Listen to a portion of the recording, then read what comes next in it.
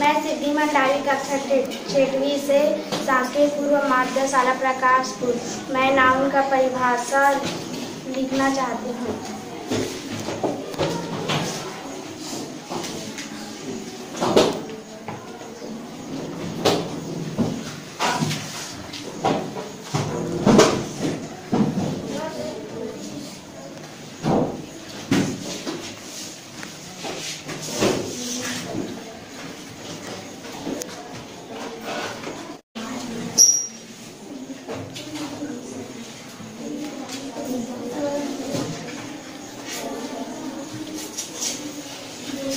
ます。